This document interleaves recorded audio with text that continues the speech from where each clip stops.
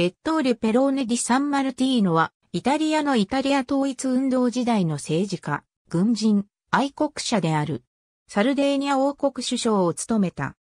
単に、エットール・ペローネとも、エットール・ペローネ・ディ・サン・マルティーノの共造1789年1月12日に、トリノに生まれたエットーレ・ペローネ・ディ・サン・マルティーノは、ナポレオン体制下の中、フランスに渡って1806年に軍人に志願。サンシール陸軍士官学校を卒業し、1807年から従軍を開始した。1809年にはフランスとオーストリア帝国の戦いであるバグラムの戦いで負傷し、レジオンドヌール勲章を授与された。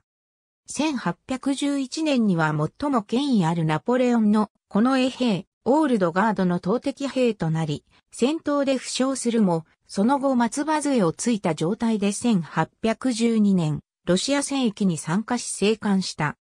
1813年5月には、グロースゲルシェンの戦いとバウツェンの戦いに連続して参戦して生還し、100日天下の間もナポレオン・ボナパルト側として戦闘に参加した。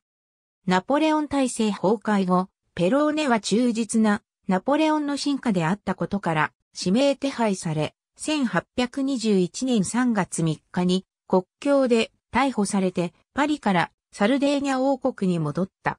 しかし、ピエモンテの反乱に巻き込まれ加担したことで死刑宣告をされ、再びフランスに逃亡。そこで軍隊に加わりナポレオン戦争時代の戦績が評価されて将軍の地位を獲得した。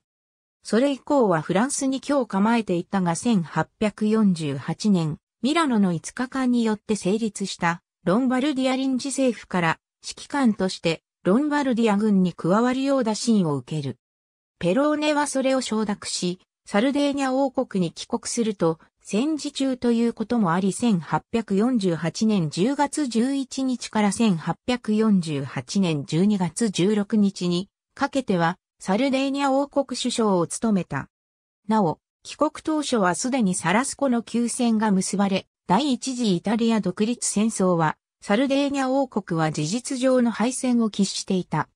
しかし1849年には休戦協定が破棄され、カルロ・アルベルト・ディ・サボヤは周囲の反対を押し切って対オーストリア戦争の継続を決定。